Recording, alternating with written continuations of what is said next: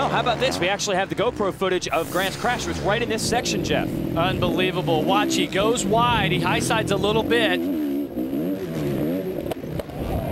Mm. Notice the GoPro gets uh, bent down a little bit right there, but he, he got up pretty quick and got off the track and got back on the bike, and he was 17th after that. Unbelievable.